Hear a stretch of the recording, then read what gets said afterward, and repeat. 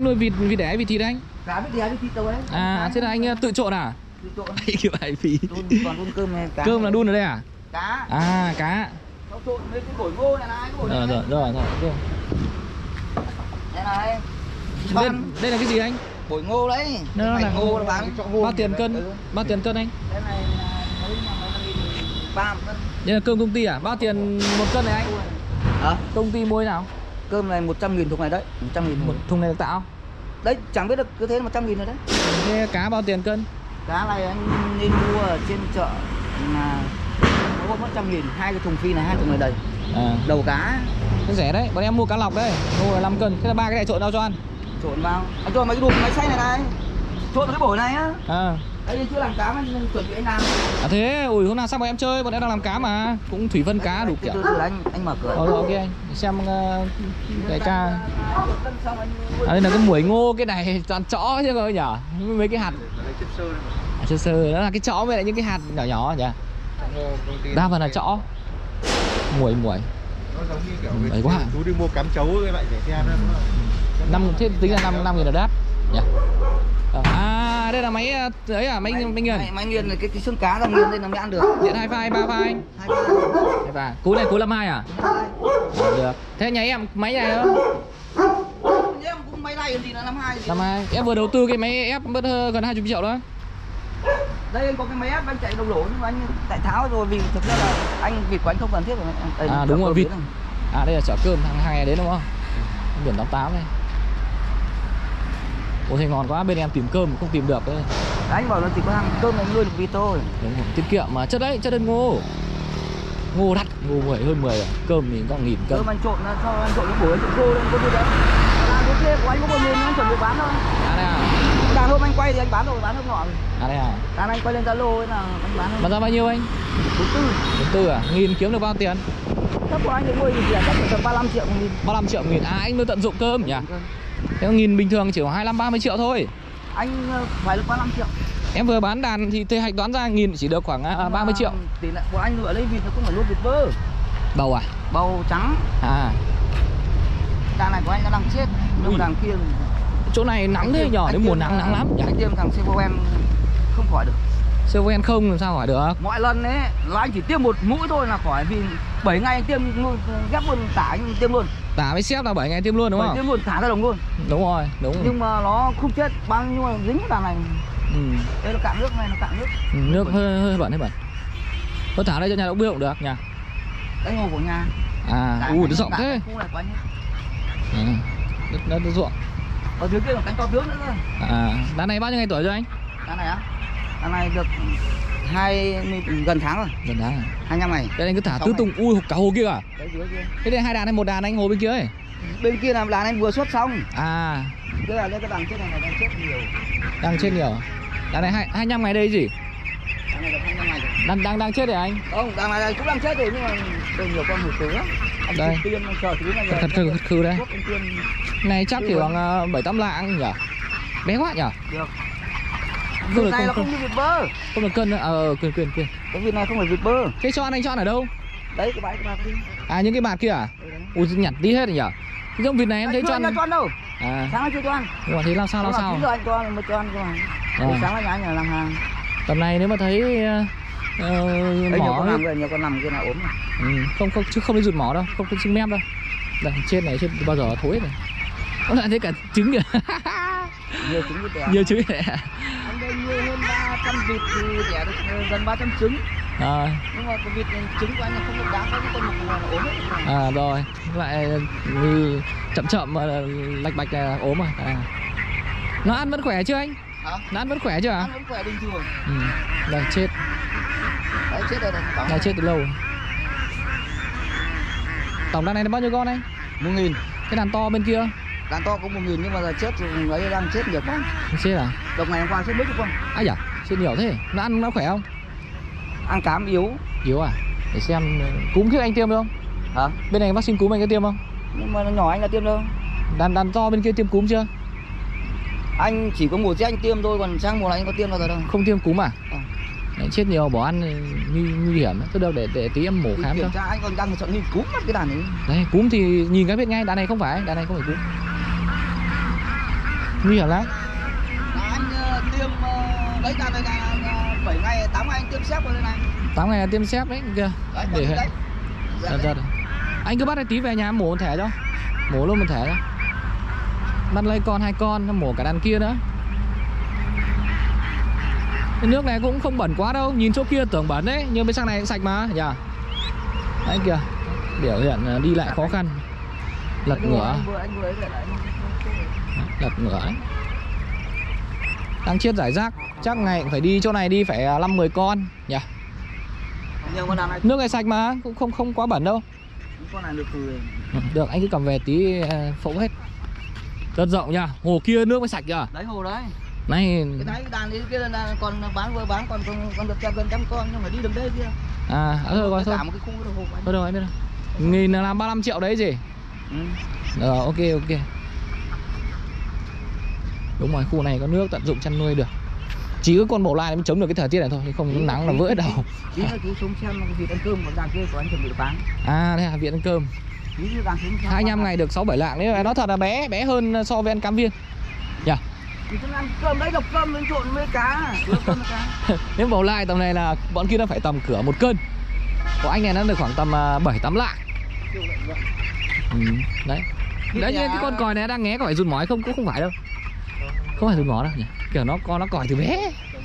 Đây là cái, giống mà giống bọn vợ anh là đây mua toàn giống cái trắng bình bán như vừa rồi anh cân bình quân được có hai cân tư. Cái tư là to rồi. Bao nhiêu ngày bán anh? Được quân chưa được hai tháng. Chưa được hai tháng à? Năm 58 ngày. Chính xác đàn này vừa ngoại cân năm tám ngày hai cân tư bầu là thế thôi.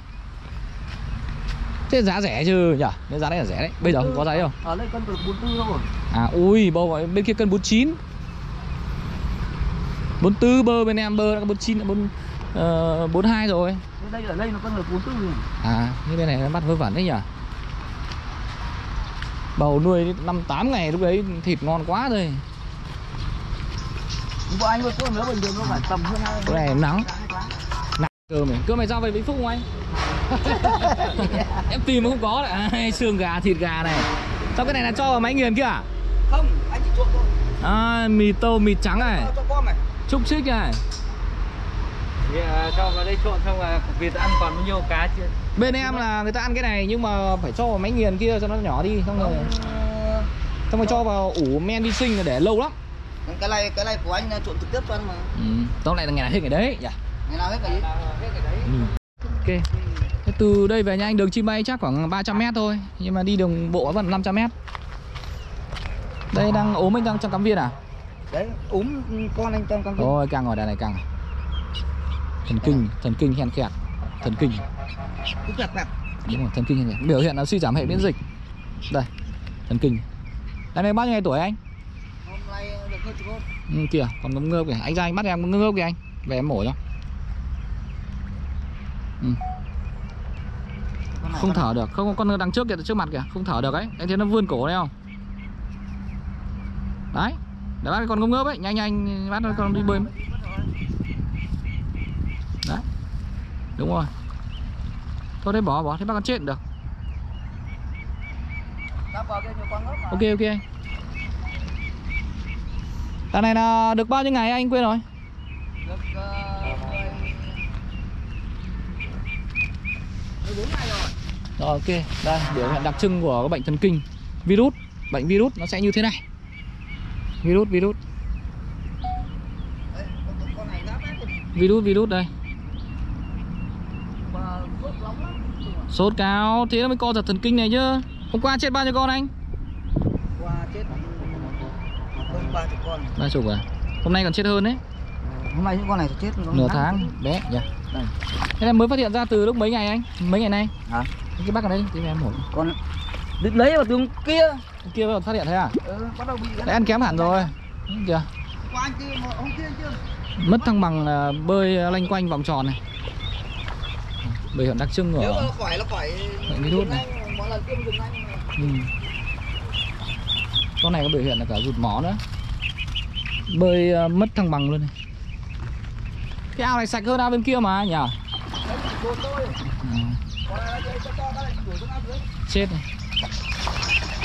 chết chết. Em đây. Đấy em qua dưới không em ơi. Có anh ơi, chắc là gần trưa hôm qua nhá. Em đang ở bên uh, Bắc Ninh nhỉ ừ, nhá. Anh nhà. đây Thôi thôi anh ơi, em uh, có việc rồi. Tôi không vào đâu, vào tí thôi.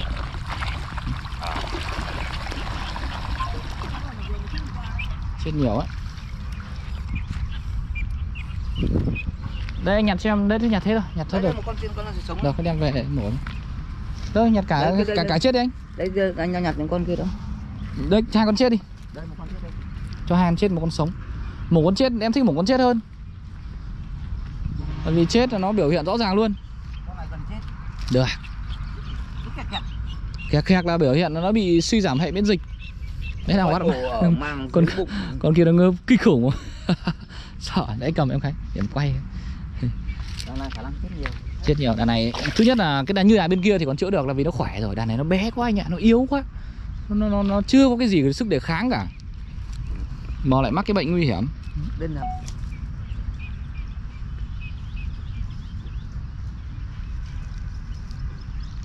rất nguy hiểm quá. Ừ, đây phân đây phân xanh nét luôn. Phân này gọi là phân xanh ngọc phân màu xanh ngọc trắng Vâng. tinh. Phân, phân trắng không sợ anh ạ đây sợ phân màu xanh ngọc này phân xanh này. Đây nó chỉ nói chứ còn nó nó nó biểu ta số trắng Đây. tinh. Con nào mà ra vào phân xanh ngọc này là chết chắc đấy. phân xanh xanh ngọc này. Cái này thì nó bị trôi nước rồi nhìn rất là khó. Con đấy là bây giờ mổ lên là cái dạ dày trên này. Thì nó bỏ ăn còn cái dịch tiêu hóa thôi còn gì đâu. À ở đây bên này nữa đúng không? Đấy nó sang đây. Ở xe này. Đây đây. Đớp ngớp đớp đớp này chết rồi. Nó có nó có Này. nó có ấy đâu. đấy con này nó ở thể cuối cùng rồi viêm phổi gọi là vào phổi cấp à? Ừ, nó bị bệnh chết hết đâu đó. Ui giời, con này bỏ ăn rồi, bỏ ăn mấy ngày khô đét. Chết. Đây, đây cầm về lúc em mổ cho Em cầm cho anh xe cho anh ngon. Làm sao mà không xuống ruộng là được. Thế địa điểm này nuôi bồ lai hợp lý đấy À, chết chết chết. Nó bỏ ăn thì bình thường á, cái loại này bao nhiêu cho đủ. Đây anh tiêm Sevogen Thái Dương đây gì đấy. Ở đây mua bao tiền một cặp anh? Đây mua trăm sáu. Trăm sáu à? Hợp lý. Mua lẻ hợp lý, mua nhiều thì rẻ hơn. Rồi ok, đây là đàn thứ ba. Ba khu nuôi, ấy to phết rồi, bao nhiêu ngày rồi anh? Bao nhiêu ngày rồi anh? Hơn 50 ngày rồi nhở? Chứ được cánh dài thế Thôi bán đi anh ạ, bán đi, bán đi, bán đi Đàn này ờ, bao nhiêu con anh? đang là còn tám trăm rưỡi 800 rưỡi à? 1 nghìn còn 800 rưỡi chín trăm mua chín trăm một tháng Ủa đấy vẫn hạo ít nhỉ? Từ bé giờ cái đàn này có bệnh tật gì không anh? không Không à? Không bệnh tật được một nghìn tám rưỡi, à chín trăm tám rưỡi được, cứ bán đi Vì đây như nào đàn này là nó hơi căng này thì anh lựa bán Không để nó lây sang là, là Nó lây, bệnh nó lây mà nó không có ngày một ngày hai đâu nhưng mà năm bảy ngày kiểu gì cũng lây sang đây. Là vì cùng anh chăm sóc dễ cuốc người đi lại là Đúng kiểu rồi. gì cũng lây. Nhưng đàn này đắt rẻ thì cho cho lên được. Nhưng mà ngắn cắn anh chưa chưa cân được đây nó phải dài thì nó cân. Ừ căng nhé thế bọn này phải cho uống ít ờ, kháng sinh điện giải trộn vào cám kháng sinh. Là vì thực ra những cái bệnh cúm này nó nó chỉ con nhỏ chết thôi. Con lớn thì nó chết không chết nhiều. Nó chỉ chết do bệnh kế vát. Đấy như mình nói là bị bệnh nền đấy ngày xưa là nhưng mà cái đàn này là đấy cũng chỉ có 7 ngày là bắt đầu anh ừ. tiêm tiêm thằng siêu ven mới ghép cái tả luôn. Rồi. Anh tiêm vào luôn. Đấy từ đợt tí là nó có bệnh mấy đàn trước cũng thế nó có ừ. nhưng giờ dính bắt đầu cái đàn này lắng lên cái là dính nó bị đàn đấy là đàn này thì bị E. coli thôi đàn lớn này đàn nhỏ này thì cúm nhưng khả năng nó vẫn lây sang đấy. Đàn này từ bé giờ ăn mũi nào không anh? Không ăn một mũi đấy một mũi à tiêm. ghép tả thôi gì? Ghép tả lớn này chỉ trộn thuốc phòng thôi đúng không? 7 ngày đâu anh tiêm tả mới ghép luôn phát rồi Dạ, đoạn anh có dùng thuốc phòng không? Không không phòng gì? Gì? phòng gì. Ăn cám thấy kém kém mà phải phò tới tí thuốc gì ở tiêu chảy mà, chứ nhưng, nhưng mà cổ ấy là mua đây thì thuốc anh không biết gì anh có tin tưởng đâu anh mua. Ừ, mua ít áo mốc chẳng hạn trộn vào thi thoảng là khoảng 10 ngày trộn cho nó ba bữa trộn vào cám ấy. Thì đằng là thật là cái cám của anh ấy cái nó cũng- Đấy ngày xưa em gửi ra mốc về anh trộn đấy nhưng mà những đấy là những đợt tí nuôi trong giờ. Ừ, căn bản nó cũng bệnh tật nó cũng chẳng có. ừ. cái, cái giống này nó cũng phải.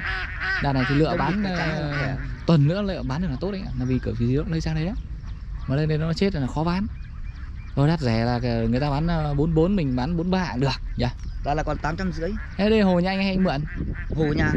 Ú đi làm đất thế Thì anh thuê đấu thầu thuê. à thầu thầu thầu thầu tưởng đất Thuê của dân mà. từ nó đi đâu kia thuê của dân hết đàn này lại làm ba xịch nữa rồi Bởi vì chưa đến nghìn đúng không? Nghìn thì được 35 triệu. hai đấy cả số vịt tí Ừ. thì em đang quay trên kia tất cả những con nhỏ mấy thứ hết 40 triệu tám này À, 40 triệu tiền cào 40 triệu tiền cào Hai đàn là đều có biểu hiện thần kinh. Bé này nó bị Bé này thần kinh kinh khủng luôn. Tí cho xem video này. Cầm cầm cầm. Sớm nhỉ? Có cái kéo đâu anh? Kéo kéo, ở đây cái kéo. Chân này chú bẻ hay là cái gì? Không, em cầm một cái cổ. Chân như nào nó không. Hai con này vẫn sống, còn hai con này chết. Thần kinh, thần kinh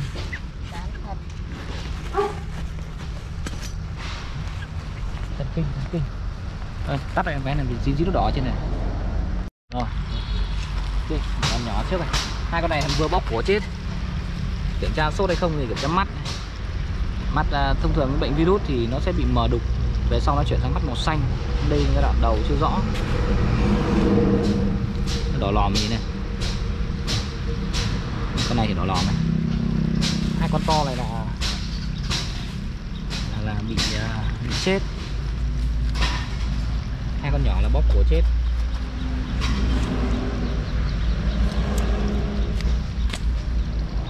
tích nước này, sốt này, tim à, cơ tim nhão này, cơ tim nhão này. chưa hoại tử hổ vằn, những hoại tử hổ vằn ở trên. Đằng này đấy màng màng bụng á cái cu đi kéo mạng này. Thông thường những cái bệnh nguy hiểm như bệnh cúm tả thì không chết nhưng chết do bệnh nền. Đây bệnh nền nặng quá, nặng quá. Những con mà ngớp ngớp không thở được khả năng là nó túi khí nó bị như này, bao nhiêu ngày? Bao nhiêu ngày đấy 15 ngày. 5 ngày mà đã bị sớm nhỉ? Đàn là bắt nó bao nhiêu nhỉ? Cái đàn con này hôm mình mà nhập vào hai mấy nhỉ? Sớm nhỉ? Không, nó sợ nó bị cúm thôi. 28 28 hôm nay là 10 13 ngày. À Huyết nặng. 15 ngày rồi đúng rồi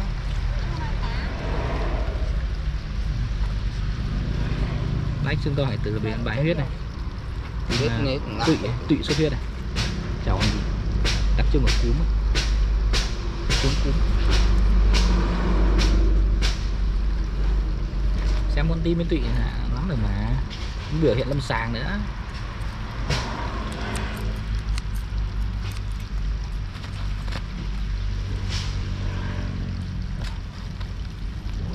Đấy. nó ho hen nhiều. Đừng mũi đây.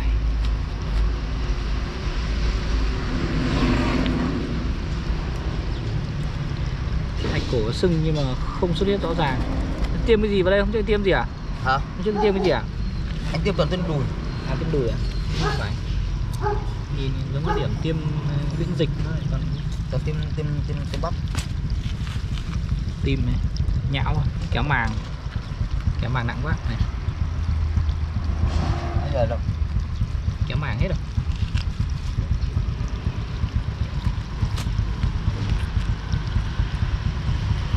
Ui rồi đấy màng nó dày bịch. Này. tiêm Sevogan không sao chống được? Bỏ ăn hết phân xanh ngắt bại huyết lần này bại huyết E. coli rất là nặng. Sưng to hoại tử vân hoa đá này. Lách thì này tụy xuất huyết.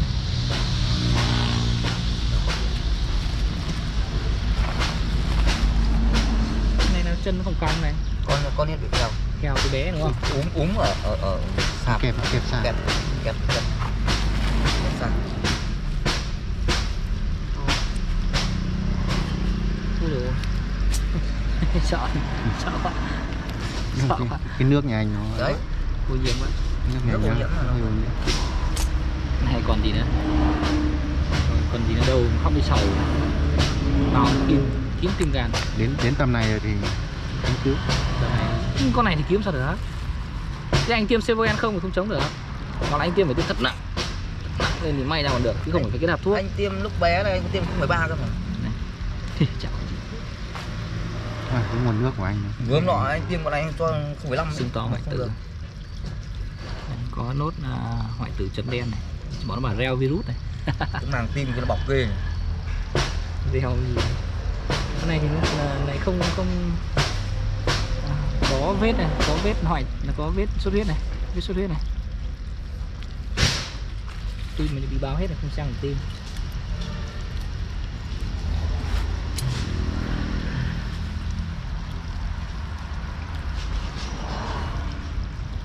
cớ bình thường.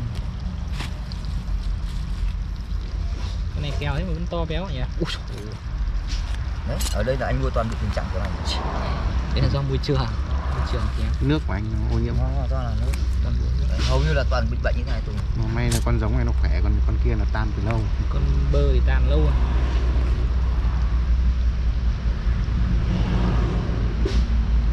Ba này đắt thì không xuất huyết nhưng mà vẫn là bại huyết bại huyết và hết E. coli Vâng. chưa chưa. Quay nào. Chào các bác nhé à, Về cái vấn đề cúm ạ, thì cái giải pháp phòng duy nhất của nó là sử dụng vaccine. Đấy, Ví dụ như đây là cái quy trình chăn nuôi và quy trình vaccine của hệ thống trại chăn nuôi, hệ thống trại gia công của CP Họ cho tiêm cúm hai lần luôn. Lần thứ nhất là vào một ngày tuổi luôn. Đấy, một ngày tuổi đã tiêm cúm các bác nhé à, Rất nhiều vùng nổ cúm và cái chủng cúm năm nay thì đa phần là H5N8 Đấy, xen kẽ với nó là H5N1 này, H5N6 vân vân vân vân. Cái vấn đề H5N8 thì nó không gây chết nhiều. Đặc biệt đến con là trên 20 ngày tuổi những vịt trên 20 ngày tuổi thì không gây chết nhiều chỉ chết uh, một phần thôi. Nhưng mà mình xử lý không đúng cách không khéo thì cũng nguy cơ đà toang rất là nhiều đấy các bác nhé. Còn đối với cái đàn nhỏ nhỏ ấy, kiểu tầm dưới 2 tuần tuổi như này thì tỷ lệ chết là rất là cao có thể đến uh, trên 80 phần trăm đó, thì cái giải pháp các bác vẫn nên ưu tiên là tiêm vaccine và lựa chọn những cái loại vaccine à, chính hãng, nhập khẩu chính ngạch hoặc là những loại vaccine à, có bảo hộ các bác nhé Đấy. còn cái vấn đề đàn nhỡ à, 25 ngày tuổi thì chỉ là bại huyết ghép E. coli thôi, nhưng mà sử dụng sép nhiều nó bị nhờn và dịch tễ thì cũng tương đối là phức tạp đó. Thì khi bị nhờn xếp thì các bác làm thế nào? Có rất nhiều giải pháp. Đấy, thứ nhất là có thể tăng liều lên. Đấy, người ta hướng dẫn sử dụng là, là một bộ cho 5 tạ thì mình tiêm cho khoảng là hai tạ thôi. Đấy, một số trại mình đi họ tiêm khoảng tận là một bộ cho một tạ thôi. Hoặc là chuyển sang sử dụng loại xếp sữa nhé. Xếp sữa nó tốt hơn nó mạnh hơn. Nhưng mà à, cái xếp sữa dạng nào loại nào mà nó có liều cho con da cầm các bác nhé đó hoặc là như anh em mình thì thông thường là phối hợp nhiều loại thuốc có thể xếp và pha lẫn laser bách này.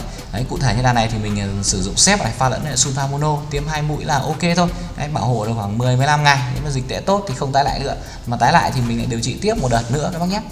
Còn ờ, ở đây đàn nhỏ thì mình ờ, sẽ xử lý bằng cách là cho tiêm à, thuốc hạ sốt cộng với lại à, à, thuốc kháng virus. Để tiêm một mũi duy nhất thôi. Sau đó thì nghỉ một ngày hôm sau vẫn chữa kê phát bại huyết E. coli như bình thường. Để cho tiêm xếp nhưng mà tiêm liều tăng lên các bác nhé. Và cũng ờ, cứu được một phần hai đàn rồi chào các bác nhé. Chúc các bác chăn nuôi thành công. Đính chính một chút các bác nhé. Ở một số khu vực hiện tại áp lực dịch bệnh tương đối cao con vịt con ngan con gà thì hiện tại năm nay cả cả cuối năm 2021 thì nổ cái cúm là chủng H5N8 các bác nhé. Đây là cái cúm của nhà nước hoặc là một số cái chủng cúm H5N1 H5N6 à, R5 thì nó không bảo hộ được H5N8 thì cái hàng các bác nên sử dụng đó là hàng cái cúm này nhé cúm của Amavac này Amavac hoặc Amavet thì nó đều là một thôi thì cái cúm này nó bảo hộ cả H5N1 này H5N2 này, H5N6 và H5 đặc biệt H5N8 nhé. Tại vì cái chủng chủng mới năm nay ấy, nó nổ là H5N8. H5N8 thì nó không gây chết toàn bộ nhưng mà nó gây chết một phần. Đặc biệt là đối với đối với cái trại là mắc cái bệnh kế phát đấy các anh. Kế phát bại hết E. coli dịch tả vân thì chết nhiều hơn. Nên là anh em mình toàn bộ ở miền Bắc là sử dụng cái cúm H5N1 cộng H5N8 cộng H5N2 cộng H5N6 các nhé. Thì cái cúm của nhà nước thì nó bảo hộ chỉ được H5N1 và H5N6 thôi. À, đối với những vùng áp lực dịch bệnh tương đối cao thì thì các bác nên sử dụng cúm này. Đặc biệt như một số vùng như là kiểu sơn tây hà nội này ba vì này bắc ninh này bắc giang này vân vân. Kể cả miền uh, tây nguyên cũng ghi nhận là cúm h5n8 các bác nhé. À, xét nghiệm đều ra h5n8 đó nên thông tin là đính chính lại cho các bác là là nếu mà khu vực áp lực dịch bệnh cao tương đối cao hoặc là nghe tin ở khu vực lân cận khu vực hàng xóm đang bị uh, nổ cúm h5n8 thì thì các bác lựa chọn cúm này các bác nhé. Cái hàng này là hàng chính hãng Việt Nam nên là không lo về bảo hộ. Ok. Còn một số cái cúm tàu mà nó nhập qua đường tiểu ngạch thì thôi tốt nhất là nghỉ nghỉ nghỉ. Đừng có tiêm cúm đó là cũng cũng nguy hiểm lắm các bác nhé. Bảo hộ không tốt mà giá thành có khi lại còn bị đắt. thì